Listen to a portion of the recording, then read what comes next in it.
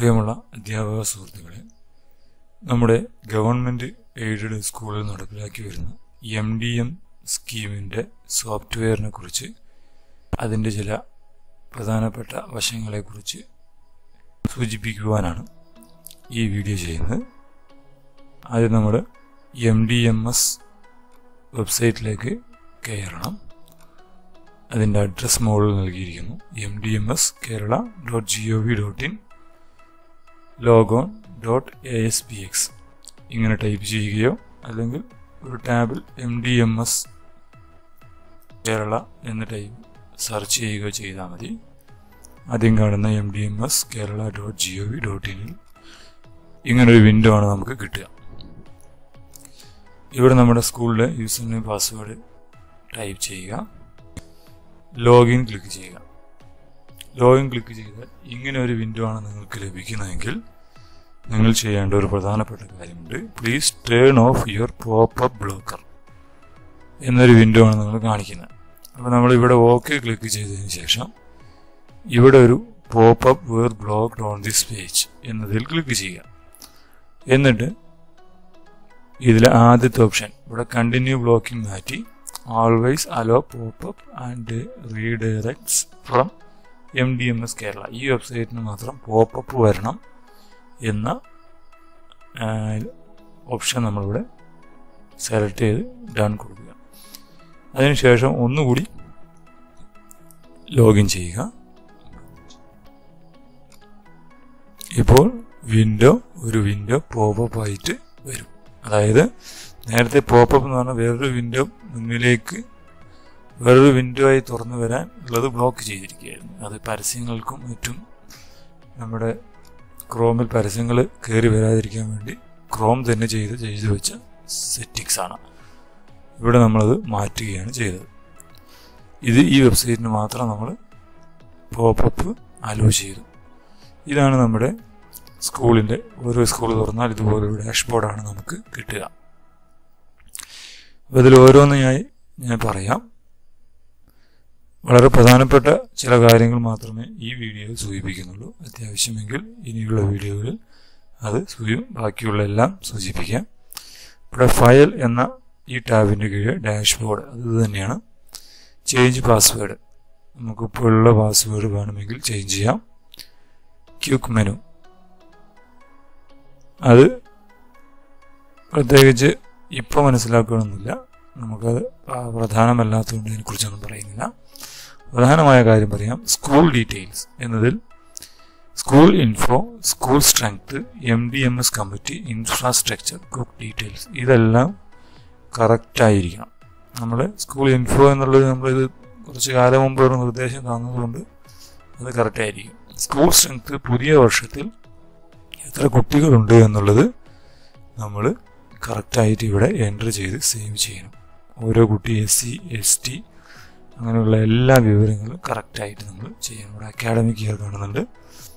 രണ്ടായിരത്തി പത്തൊമ്പത് പതിനെട്ട് പത്തൊമ്പതിലാണിത് നമ്മൾ രണ്ടായിരത്തി പത്തൊമ്പത് ഇരുപത് സെലക്ട് ചെയ്ത് പുതിയ കുട്ടികളുടെ റോൾ നമ്മൾ ഇവിടെ കൊടുക്കണം. അതുപോലെ M D M S committee അതും അതുപോലെ ഈ വർഷത്തെ എം ഡി എം എസ് കമ്മിറ്റിയുടെ എല്ലാ വിവരങ്ങളും തുറന്നു നോക്കിയാൽ നമുക്ക് കാണാൻ പറ്റും. ഈ അക്കാഡമിക് ഇയർ സെലക്ട് ചെയ്തുകൊണ്ട് നമ്മൾ രണ്ടായിരത്തി പത്തൊമ്പത് ഇരുപത് അതിൽ സെലക്ട് ചെയ്തുകൊണ്ട് എല്ലാം നമ്മൾ ഇവിടെ കൊടുക്കണം. ഇതിന്റെ ഓരോ വിവരങ്ങളും P T A president M T M P T A president mother P T A president അങ്ങനെ എസ് എം സി ചെയർമാൻ അങ്ങനെ എല്ലാം നമ്മൾ ഈ ഭാഗത്ത് നൽകണമെന്നാണ് സൂചിപ്പിച്ചത്. ഇൻഫ്രാസ്ട്രക്ചർ അതായത് നമ്മുടെ ക്യാന്റീനിന്റെ അവസ്ഥ സ്കൂൾ കിച്ചന്റെ അവസ്ഥയാണ് ഇവിടെ നൽകേണ്ടത്. അതും ഓരോ വിവരങ്ങളും വാട്ടർ സോഴ്സ് ഇലക്ട്രിസിറ്റി എല്ലാം കൃത്യമായ വിവരങ്ങൾ നൽകണം. ഡിവൈസസ് എത്ര പ്ലേറ്റ് പിന്നെ നമ്മുടെ ഗ്യാസ് പ്രൊവൈഡർ അങ്ങനെ എല്ലാ കാര്യങ്ങളും കൃത്യമായി നൽകണം. പിന്നെ കുക്ക് ഡീറ്റെയിൽസ് അതെല്ലാം ആഡ് ചെയ്യണം. ഈ സ്കൂൾ ഡീറ്റെയിൽസിലെ എല്ലാ ഭാഗങ്ങളും കൃത്യമായി പൂരിപ്പിക്കണം എന്നർത്ഥം.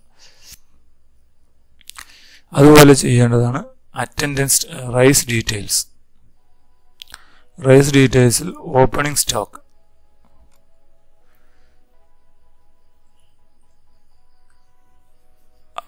ഒന്ന് ആറ് രണ്ടായിരത്തി പതിനെട്ട്. അതിൽ നമുക്ക് എത്ര? നമ്മൾ സ്കൂൾ തുറന്നപ്പോൾ എത്ര സ്റ്റോക്ക് ഉണ്ടായിരുന്നു എന്നുള്ളതാണ് നൽകേണ്ടത്. ഇവിടെ സ്റ്റോക്ക് എൻട്രി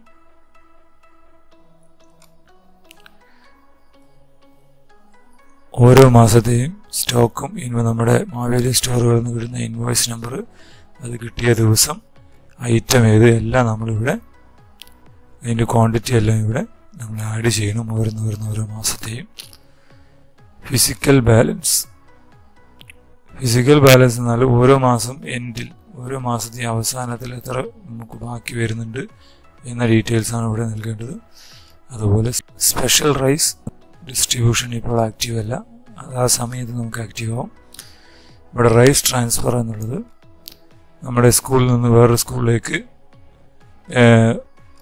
അരി പോയിട്ടുണ്ടെങ്കിൽ അല്ലെങ്കിൽ ഐറ്റം പോയിട്ടുണ്ടെങ്കിൽ അത് ആ വിവരമാണ് നിൽക്കേണ്ടത് അപ്പോൾ ഇതിൽ ഇത്രയും ഭാഗങ്ങളാണ് പ്രധാനപ്പെട്ടത്. അതുപോലെ അറ്റൻഡൻസിൽ കുട്ടികളുടെ ഓരോ ദിവസത്തെയും കുട്ടികളുടെ ഭക്ഷണം കഴിച്ച കുട്ടികളുടെ മീൽ സെർവ്ഡ് മിൽക്ക് സെർവ്ഡ് ഇപ്പോൾ ഒരു ദിവസം പത്തൊമ്പതാം തീയതി ഭക്ഷണവും കൊടുക്കുന്ന മിൽക്കും സെർവ് സെർവ് ചെയ്യുന്നുണ്ടെങ്കിൽ മിൽക്ക് ടിക്ക് ചെയ്യണം. അതുപോലെ ഇനി പത്തൊമ്പതാം തീയതി നമ്മൾ ഭക്ഷണം സെർവ് ചെയ്തത് ഭക്ഷണം സെർവ് ചെയ്തതും പാൽ സെർവ് ചെയ്തതും വ്യത്യസ്ത എണ്ണങ്ങളാണെങ്കിൽ വ്യത്യസ്ത രീതിയിലാണ് ഓരോന്നും സ്പെഷ്യൽ ആയിട്ടാണ് കൊടുക്കേണ്ടത്. ഒരേ നമ്പർ ആണെങ്കിൽ രണ്ടും ടിക്ക് ചെയ്ത് നമുക്ക് കൊടുക്കുവാൻ കഴിയും. അപ്പോൾ ഇതും അറ്റൻഡൻസും ഇതുപോലെ എല്ലാ ദിവസവും ചെയ്യേണ്ട ഒരു പ്രവർത്തനമാണ്. ഇനി ഒരു ദിവസം സ്കൂൾ ഹോളിഡേ ആണെങ്കിൽ അത് ടിക്ക് ചെയ്ത് കൊടുക്കണം. സ്കൂൾ അവധി ദിനങ്ങളും ഒഴിവാക്കാൻ പാടില്ല എന്നർത്ഥം. പിന്നെയുള്ളതെല്ലാം ഇൻസ്പെക്ഷൻ ഇതിലൊന്നും വളരെ പ്രധാനപ്പെട്ടതല്ല. റിപ്പോർട്ട് നമുക്ക് ഓരോന്നിന്റെയും റിപ്പോർട്ട് നമുക്ക് പ്രിന്റ് എടുക്കുവാൻ പറ്റും. ഇതിൽ school details passed indent passed continues ഇതിനെല്ലാം റിപ്പോർട്ടായിട്ട് നമുക്ക് എടുക്കാൻ പറ്റുമെന്നുള്ളതാണ് വ്യൂ ഇത്രയും കുട്ടികളുടെ റിപ്പോർട്ട് നമുക്ക് കാണാൻ പറ്റും. അതാണ് റിപ്പോർട്ട് ടാബിലുള്ളത് എം ഡി എം സർക്കുലർ പ്രകാരം പ്രത്യേകമായി ചെയ്യേണ്ട കാര്യങ്ങൾ school details rice details attendance പോലുള്ള കാര്യങ്ങൾ സ്ഥിരമായി അപ്ഡേറ്റ് ചെയ്യുകയും അത് ആ കാര്യങ്ങൾ നമ്മൾ പൂർണ ശ്രദ്ധ പുലർത്തുക മാത്രമാണ് ചെയ്യേണ്ടത്. ഈ വീഡിയോ നിങ്ങൾക്ക് ഉപര ഉപകാരപ്രദമായെങ്കിൽ ഇതുപോലുള്ള ട്യൂട്ടോറിയലുകൾ ഇനിയും ലഭിക്കുന്നതിന് വേണ്ടി ചാനൽ സബ്സ്ക്രൈബ് ചെയ്യുക. അതുപോലെ നിങ്ങളുടെ സുഹൃത്തുക്കൾക്ക് അധ്യാപകർക്കും മറ്റുമെല്ലാം ഇത് അയച്ചു കൊടുക്കുക. നന്ദി നമസ്കാരം.